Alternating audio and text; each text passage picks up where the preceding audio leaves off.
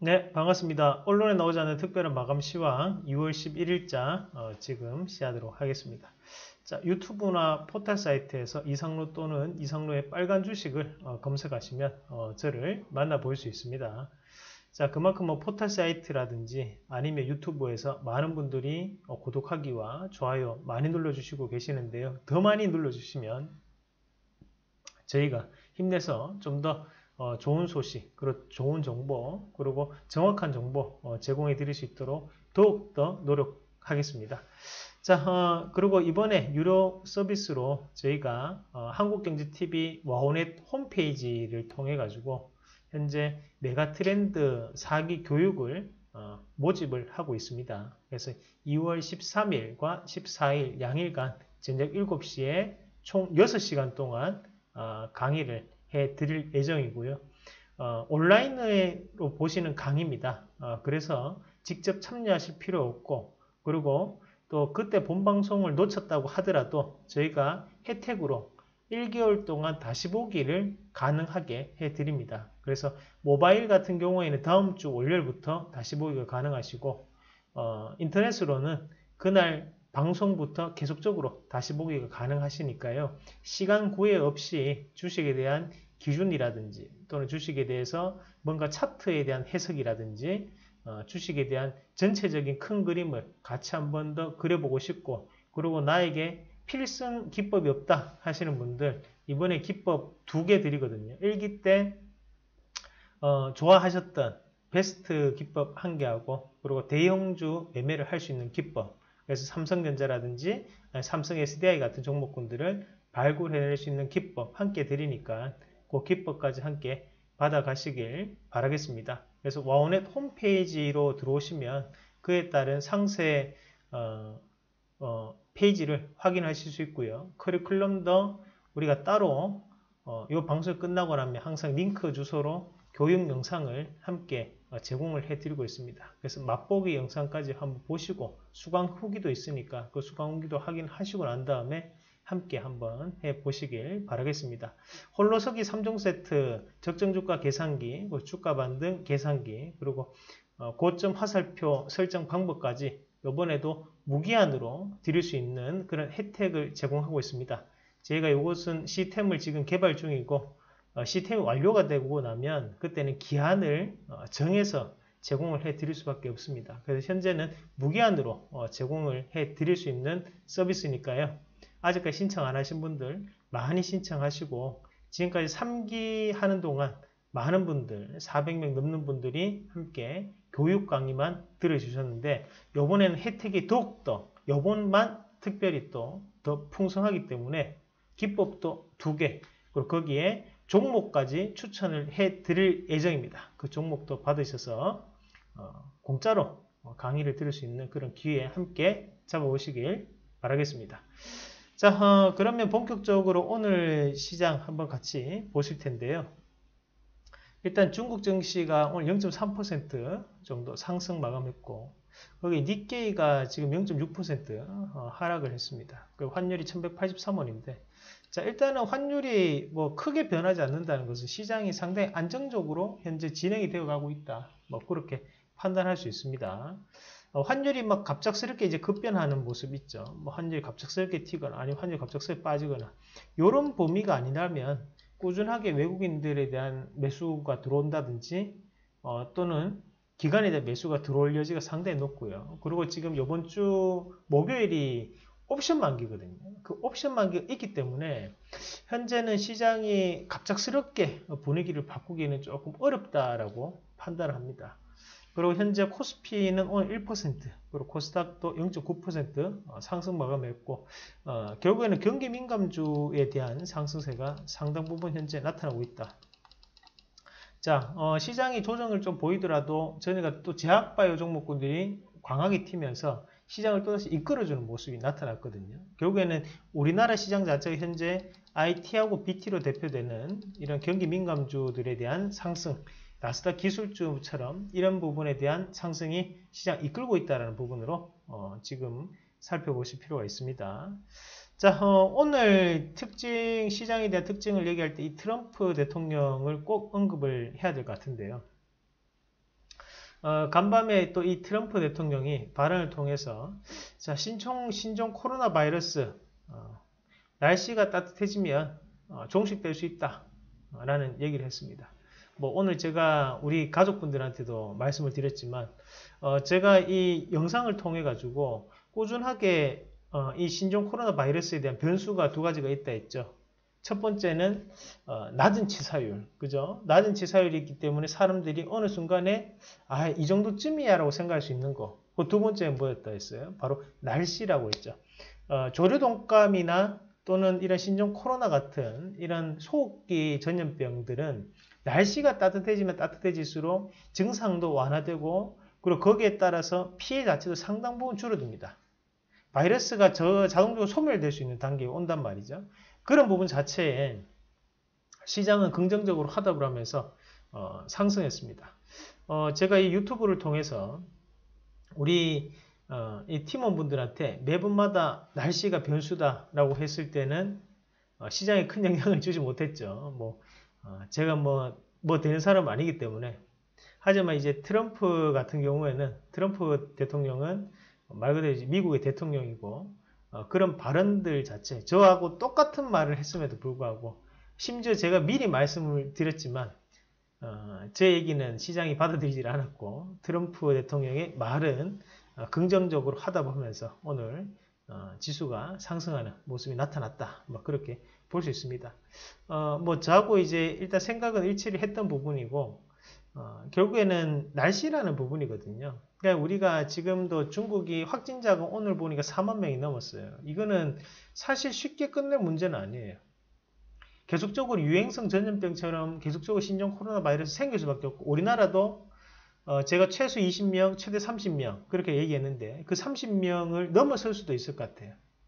안 넘어서면 물론 좋겠지만 어, 근데 이런 부분 자체는 뭐냐면 결국에는 계속적인 이슈는 되지만 처음보다는 거기에서 시장이 느끼는 반영은 상당히 약하다는 거죠. 제한적이라는 거죠. 왜?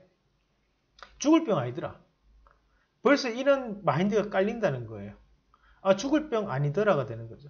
어, 제가 도로만 나가보더라도 사실 이제 서울 경기도 지역 자체는 또 이 신종 코로나 바이러스 관련해서 감염자도 많았고 확진자 많았고 어, 그렇다 보니까 어, 도로에 낮에 가보면 차가 없습니다. 제가 방송 가는 길에 쫙 타고 가면 차가 많이 없더라고요. 근데 오늘은 달랐습니다. 분위기가. 그만큼 어, 야 이게 그래도 나라의 방역책이 상당히 잘 되고 있고 거기에서 크게 지금은 치사율이 높은 거는 아니다. 아, 이런 거죠. 거기에 따라 시장 자체는 어, 제한적인 부분으로 반영을 하고 있다라고 보는 게 맞겠죠. 그러면 지금 미국 증시 같은 경우에도 야 미국 독감으로 그만큼 죽었는데 지금 신종 코로나 바이러스 아이 별거 아니야. 이 말을 하는 거거든요. 그러면서 다시 한 번 더 시장을 끌어올리었고 그 끌어올리는 데 가장 결정적인 역할을 했던 것은 바로 유동성이었죠. 자 현재 중국이 왜 올랐습니까 오늘도? 오늘도 왜 반등이 나왔어요? 반등 나왔던 것은 바로 이 중국이라는 나라가 현재 유동성이 상당히 풍부한 정책을 쓰고 있기 때문이에요. 지준율 인하라는 말 들어보셨죠 지급 준비율 인하를 했고 위안화 절하도 했고 거기에서 계속적으로 은행에 대한 개방 정책을 지금 쓰고 있다는 거예요. 중국 같은 경우에도 지수를 어떻게 해서든 돈의 힘으로 올리기 위해서 노력을 하고 있는 겁니다.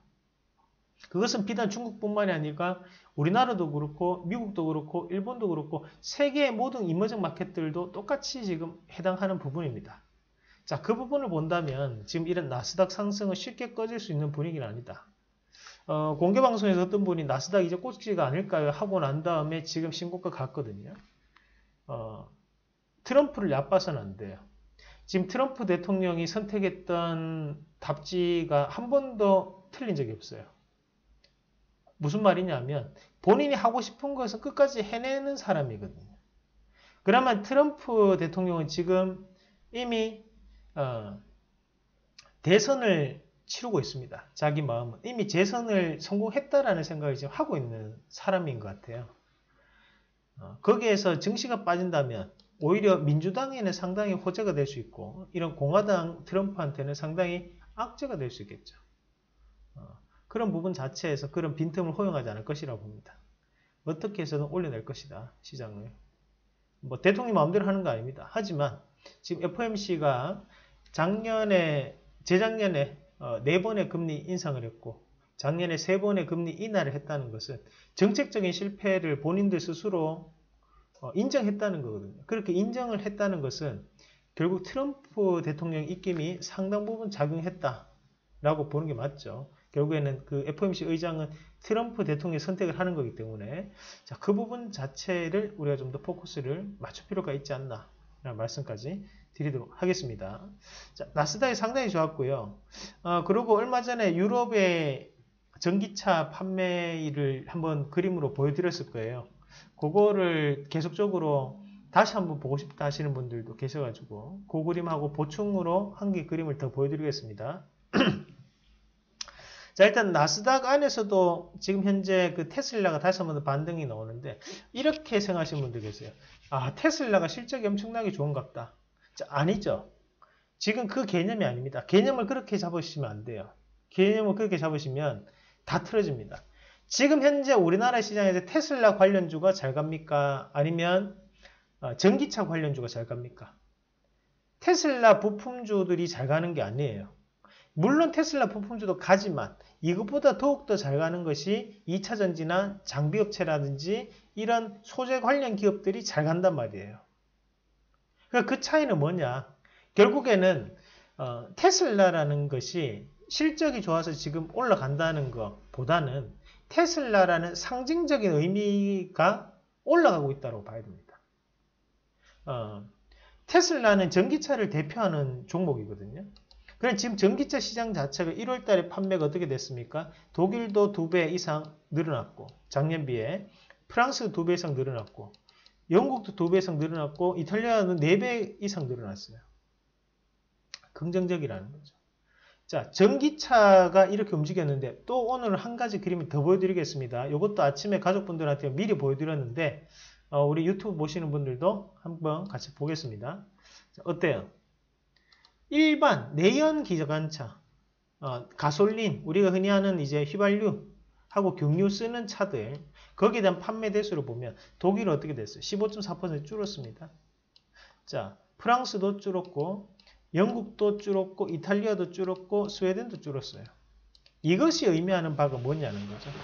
결국에는 이것이 의미하는 것은 아, 전 세계적으로 지금 1월 달에 대한 내연기관, 바로 가솔린이나 디젤 자동차에 대해서 판매가 줄면서 그준 판매만큼 지금 전기차로 넘어가고 있다. 전환되고 있다라고 받아들이는 거거든요. 그러면 이것은 1월 달만 특수적인 상황이 발생했다라고 보기보다는 2월 달에도 똑같은 현상이 나타날 확률이 대단히 높다라고 시장은 평가를 하고 있는 거예요. 무슨 말인지 아시겠죠? 그러면 지금 이 상황에서 어, 시장은 2월 달까지 랠리를 좀 더 펼칠 확률이 대단히 높겠고요. 그래 3월 달에도 마찬가지로 이런 현상이 나타날 수 있겠죠. 그러면 여기에서 금상, 금상첨화가 되려면 어디서에 대한 변화가 나타나줘야 되냐? 어디겠습니까? 결국에는 미국 시장도 이처럼 똑같은 변화가 나타나줘야 된다는 거죠. 하지만 트럼프는 어, 그 지구의 온난화를 믿지 않는 공, 공화당 출신입니다. 그래서 그것이 현재 변수가 될 수 있지만 지금 판단으로서는 이런 유럽에 대한 효과만으로도 증시에 대한 반등이 상당 부분 나타나고 있다라는 부분으로 우리가 해석할 수 있겠습니다. 자, 그래서 오늘 이 그림도 함께 보면서 지금 시장의 흐름을 조금 읽을 줄 알아야 돼요.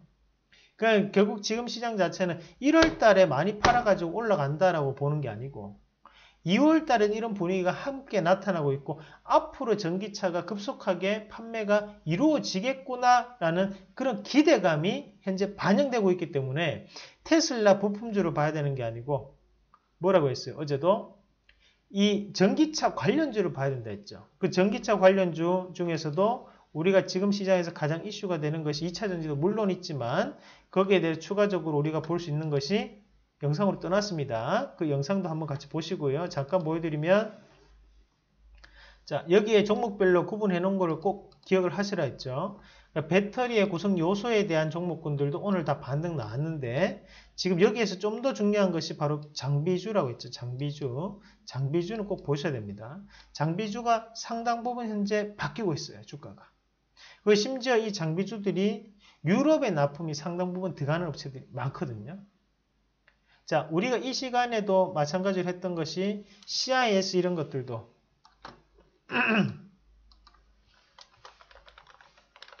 자, 어때요? 막 뽑아내죠. 그럼 어제 방송에서 했던 게 뭐였어요? PNT나 PNE 솔루션. 이런 정보도 같이 뽑아내고 있단 말이에요.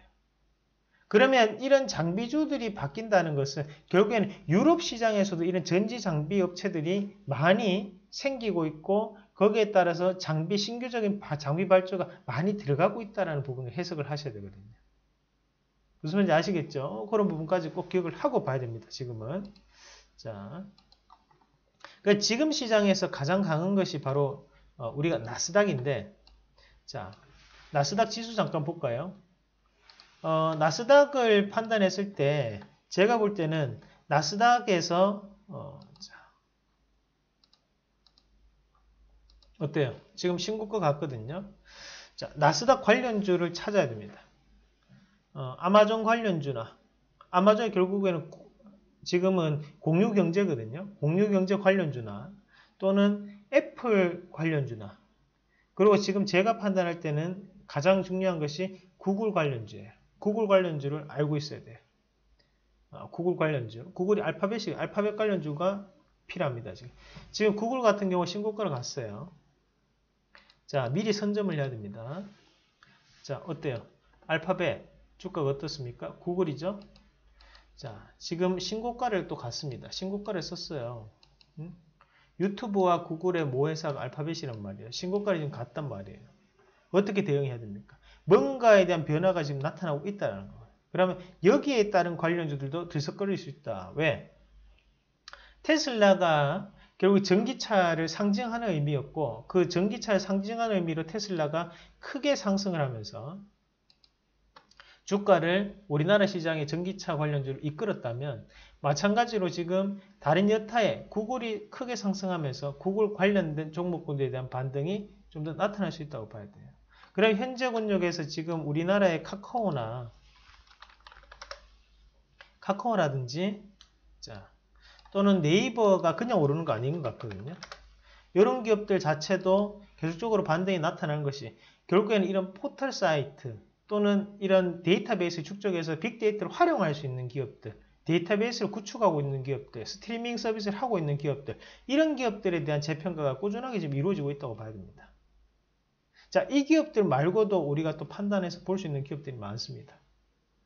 아시겠죠? 그런 기업들 지금 현재 봐야 돼요. 지금 네이버도 그렇고 앞에서 봤던 카카오도 지금 주가를 상당 부분 만들었거든요. 변화가 분명히 좀 더 나타날 수 있습니다.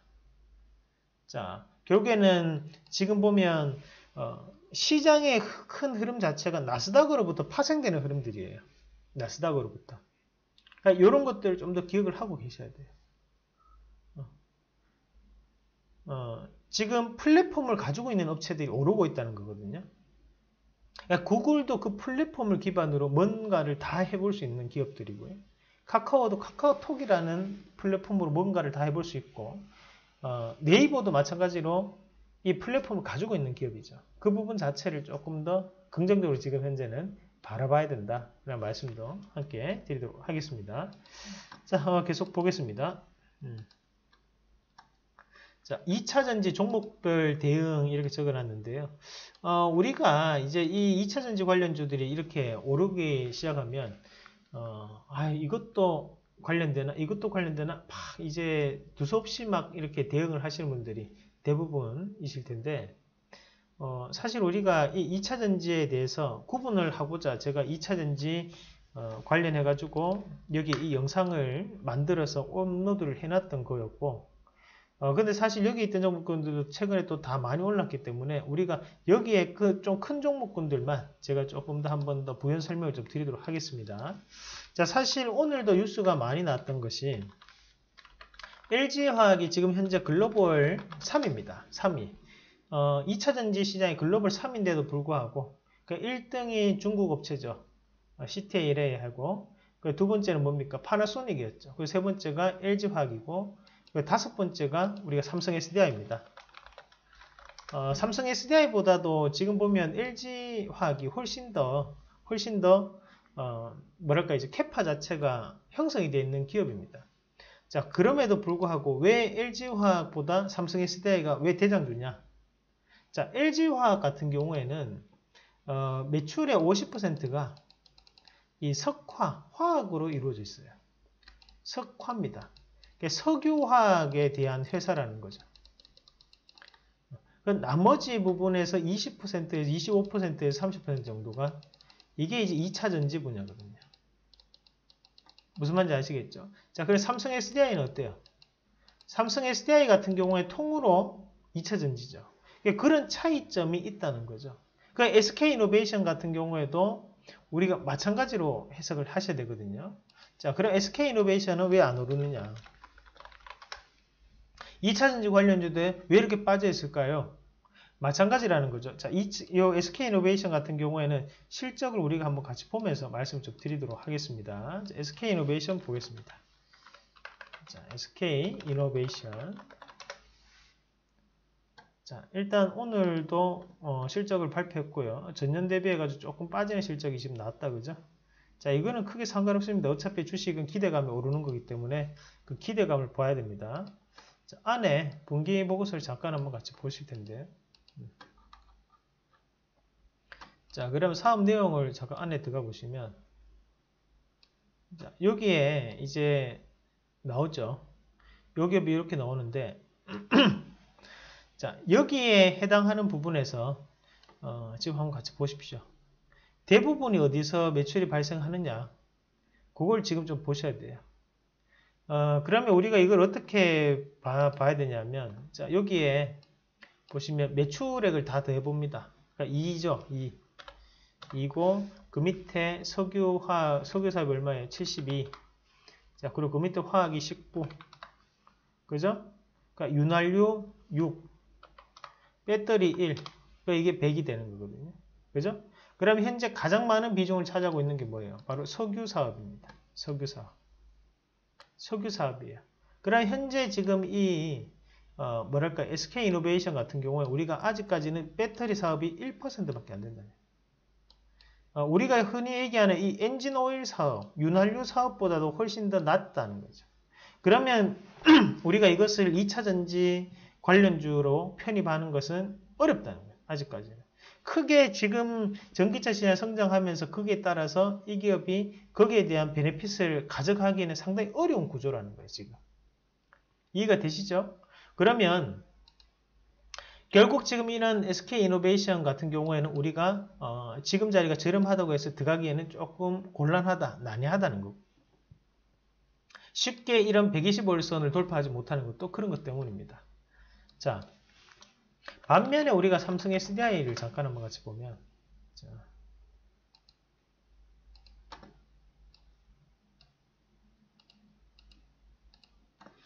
자, 삼성 SDI 보겠습니다.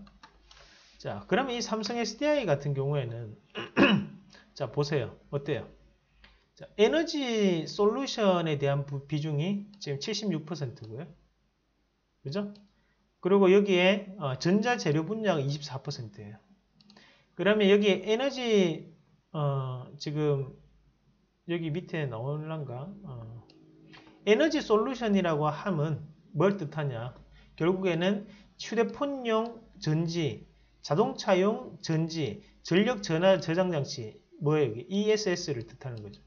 이런 관련해 가지고 이게 76% 차지한단 말이죠. 매출의 대부분을 차지하고 있기 때문에 이 삼성 SDI는 이런 2차 전지 시장 또는 전기차에 대한 영향을 가장 많이 받는 기업이라고 봐야 됩니다. 자, 그럼 LG화학도 우리가 본 김에 한번 같이 보도록 하겠습니다.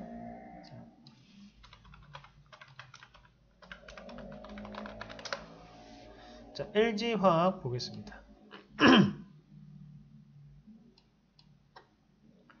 자, LG화학 같은 경우에도 자, 요거를 같이 놓고 보시면요. 여기 내리면 나옵니다. 자, 어때요? 여기 매출 비중이 이제 적혀 있죠. 자, 제가 말씀드린 그대로죠. 석유화학 분야가 50%입니다. 53%. 그 전지사업부 25에 30 했겠죠. 그 27%죠. 이해가 되시죠? 그러면 지금 이 전지 분야 자체가 누가 제일 많아요? 삼성 SDI 제일 많다, 그죠? 어. 그 다음에 누가 많아요? LG화학이 많죠. 그 다음에 누가 많습니까? SK이노베이션이 많아요. 그러니까 주가는 어떻게 움직였어요? 주가 누가 제일 많이 움직였어요? 얘가 1등, 2등, 3등. 비중도 1등, 2등, 3등. 오케이? 자, 이렇게 생각할 필요가 있다는 거야. 음. 그러나 지금 이런 삼성 SDI에 대한 주가 자체가 이제는 이렇게 가는 것이 이해가 된다. 아, 높게 올라가서 이제 부담된다가 아니고, 아, 높게 올라갔던 것이 그만큼 대장주기 때문에 딴 종목군들보다 많이 올라갔구나. 이렇게 판단할 수가 있는 겁니다. 무슨 뜻인지 아시겠죠? 그래서 저희가 제가 이 방송을 하면서 테슬라 갔을 때 우리나라의 테슬라를 찾아라. 그것은 삼성 SDI라고 이렇게 얘기를 할 수 있던 거고 마찬가지로 구글이 움직이고 있다는 것에 대해서 우리가 또 그에 따른 관련주가 뭐가 될지를 찾아야 돼요. 찾아야 됩니다. 아시겠죠? 그리고 지금 나스닥에 있는 종목군들 중에 또 많이 움직이는 종목군들이 바이오 헬스케어 종목군들이 또 많이 움직이거든요. 헬스케어 바이오 종목도 많이 움직이고 있어요. 그에 따른 종목군들도 우리가 찾아야 됩니다. 무슨 말인지 아시겠죠? 제가 허트로 이 제약바이오 일정에 대한 추천주까지 드리는 거 아닙니다. 다들 이 시기에 3월달, 4월달에 먹거리를 지금 현재 우리가 미리, 미리, 미리, 미리 준비를 해야 되는 거예요. 지금 미리 준비를 하는 겁니다. 자, 항상 이런 시장에 대한 흐름 자체를 미리 준비를 하셔야지만 그게 내 수익을 더 극대화시킬 수 있어요. 자, 계속 보겠습니다. 자, 그러면 이제 녹색 성장이라서 그러는데 어, 지금 전기차 시장도 커지고 있고 근데 지금 보면 전기차 시장이 커지는 만큼 내연기관에 대한 줄어든 포인트만큼 전기차 시장이 다 먹는다. 그렇게 되면 당연히 전기차가 올라가겠죠. 그게 아니라는 거죠. 어, 내연기관 차들이 줄어드는 비중에 대비해서 전기차가 일정 부분 차지하는 것은 사실이나 나머지 부분은 누가 차지하느냐. 그에 따른 기대감으로 지금 수소차가 반등이 나오는 거예요. 그에 따른 기대감 반등이 나오는 거예요. 그러니까 이런 반등이 나오고 있는 기업들도 마찬가지로 어, 눈여겨볼 필요가 있죠. 자, 수소차가 안 간다, 안 간다, 안 간다, 안 간다, 안 간다, 안 간다. 아니라는 거예요. 안 간다 했을 때 이 종목군들이 점점, 점점, 점점, 점점, 점점, 점점 바뀌고 있다는 거예요. 그죠? 우리가 이 시간을 통해서 수소차가 지금 저가 권역에 있는 위치고 여기에서 좀 더 업황적인 부분 자체가 변할 수 있고 아, 지금 많이 빠지는데 왜 이렇게 안 움직이는지 모르겠다라는 것이 이제 시장이 조금씩 조금씩 조금씩 조금씩 드러나고 있는 거죠. 이게 우리가 전기차 가면 수소차 안 간다. 수소차 가면 전기차 안 간다. 지금 이런 시장이 아니라는 거예요. 어, 가솔린과 디젤이 전반적으로 같이 빠지고 있기 때문에 그에 따라서 그것을 먹는 게임을 하고 있는 거예요. 그걸 대부분 지금 현재 전기차가 먹고 있지만 거기에 따라서 또 신성장 기술인 바로 수소차도 뒤에서 콩고물이라도 지금 받아 먹으려고 같이 움직이고 있다. 그렇게 해석을 할 필요가 있습니다. 자, 계속 볼게요. 자, 그만큼 지금 현재 시장 자체가 어, 기대감, 현재 시장에 대한 기대감이 상당 부분 작용하는 시장이에요. 어, 이게 물론 어떻게 표현해야 될까요? 오늘 시장을 보면 그것이 이제 드러나는 것이 오늘 보면 마스크 관련주 추가적인 확진자가 나왔음에도 불구하고 마스크 관련주가 오늘 대부분 다 조정폭이 상당히 크게 나타나거든요. 어, 전에도 한번 말씀드렸지만 이대로 이렇게 빠지진 않을 거예요. 주가가. 이렇게 빠지진 않을 겁니다. 다시 한 번 더 여기에 대한 조정을 보이고 반등이 좀 붙이겠죠. 자, 근데 확진자 한 명이 나왔어요. 옛날 같으면 팍 이렇게 되겠죠. 그래 지금 어떻게 돼요? 아, 확진자 한 명 나왔다. 뚜렷한 증상이 없대. 완치될 확률도 높은 사람이 또 들어왔어. 아프지 않대. 그게 어떻게 돼? 시장을 어떻게 판단합니까? 아, 치사율이 낮다는 게 이유가 있구나. 주식시장은 그냥 평상시대로 이 유동성이 확보되어 있는 시장이기 때문에 흘러가겠구나. 안도렐리를 더욱더 많이 펼치고 있다는 얘기예요. 안도렐리를. 하지만 이번 주하고 또 다음 주하고 분위기 또 바뀔 수 있거든요. 이번 주하고 다음 주하고 또 분위기 바뀔 수 있습니다. 그것을 꼭 기억을 하고 계셔야 됩니다. 항상 좋은 시장은 아니에요. 항상 주식은 어떻게 한다 했어요? 올라가다가 쉬었다, 올라가다가 쉬었다 반복한다 했죠. 그러면 이번 주가 올라간다면 다음 주도 한번 쉴 수 있다는 거죠. 그것을 감안해서 지금 시장을 보셔야 돼요. 아시겠죠? 현재 시장에는 유동성이라는 존재가 있기 때문에 상당 부분 기대감이 나타나고 있는 시장이다. 그렇게 기억을 하시면 될 것 같습니다. 자, 어, 그럼 내일장 관심주 한 개씩 보겠습니다. 일단은 뭐 PNT, 요거는 어제부터 말씀드렸던 장비주 중에서도 시가총액 조금 저렴하다고 보고, 어, 요게 지금 시가총액 1,900억입니다. 그리고 PNE 솔루션이 보면 2,100억이에요. 근데 실적을 보면 지금 PNT도 실적이 상당히 PNT가 더 좋거든요. 그 부분 자체 감안하면 좀 더더 평가를 좀 받을 수 있다. 저 그렇게 좀 판단을 하고요. 또 계속 볼게요. 음. 자, 그 다음에 어, SNU 해성옵틱스 자, 해성옵틱스도 이제 바닥에서 조금씩 드러나면서 모듈 관련해서 움직임이 좀 나타나고 있는데요. 추가적으로 어, 뭐라 발주에 대한 기대감을 좀 가지고 있는 기업입니다. 주가에 대한 변화 기대를 한번 해보겠고 어, 그리고 SNU SNU가 디스플레이 장비 원래 LCD에서 유명한 회사였는데 제가 볼 때는 이 기업이 이제는 정말 바뀌지 않을까라고 보고 지금 위치에서 한번 기대를 하면서 이제 OLED에 대한 기술 LCD에서 1위 기업이기 때문에 OLED에 대한 기술력을 보유하고 있다고 판단하거든요. 그러니까 여기 안에 어, 있는 이 우리가 존재죠. 무시할 수 없는 존재. 삼성 SDI, 삼성 디스플레이에 대한 지분, 여기에 대한 가치가 드러날 때가 되지 않겠나. 그런 말씀까지 한번 같이 드리도록 하겠습니다. 자, 여러분 제가 마우스 클릭을 잘못해가지고 어, 저희가 또 꼼꼼해가 또 이런 거 못 보죠. 네. 자, 그리고 케이지 케미칼. 음, 여기에 이제 어, 그 2차전지 재료 관련주인데요. 요거는 뭐 한번 여러분들이 공부를 한번 해보십시오. 제가 일전에 가족분들한테는 미리 얘기를 했고 한번 공부를 한번 해보십시오. 괜찮은 기업입니다. 자, 그렇게만 말씀을 좀 드리도록 하겠습니다. 자, 이런 거 다 영업 기밀이에요. 자, 어, 그럼 이렇게 말씀을 드리고 어, 저희가 요번 주 오늘 밤 9시 그리고 내일 또 수요일은 공개 방송이 또 예정되어 있습니다. 아, 또 요번에 또 뭐 한국경제TV에서 그런 뭐 요번 주가 special week라고 해가지고 특별한 할인 행사, 그 특별한 모집을 하는 주입니다. 그래서 거기에 제가 또 선정돼서 수요일 날은 제가 또 밤에 9시부터 밤 9시에 12시까지 또 방송을 하고 오전에는 또 공개 방송을 진행을 하게 되었습니다. 여러분들은 안 심심하겠죠? 저는 힘들겠죠. 어, 그래도 뭐 그 하루 동안 충분히 저를 또 모르시는 분들한테는 야 지금 와운에 들어가 봐라. 이상로라는 사람이 있다. 얘기할 수 있고. 또 밤 9시 이후에는 야 지금 와운에 한번 들어봐라. 어? 한국경제 TV 틀어봐라. 이상로라는 사람 지금 나와서 방송하는데 어? 잘한다. 뭐 그렇게 얘기할 수 있는 그런 기회라고 생각합니다. 어, 열심히 또 준비를 했으니까요 방송 많이 시청하시고 공개 방송도 어, 뭐 필요하신 분들은 들어오셔서 함께 보시고요.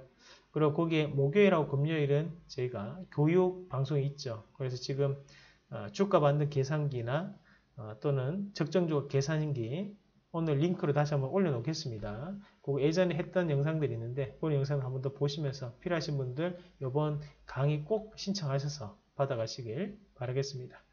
자, 어, 오늘 내용 여기까지 하고요. 한국경제TV 원넷 홈페이지로 어, 이런 교육에 대한 신청 가능하시다는 말씀 드리겠고 어, 또 공개방송 참여하실 분 참여하시고요. 내일 또 이 시간에 또 다시 뵙도록 하겠습니다. 자, 즐거운 주식 하시길 바라겠습니다. 이상입니다.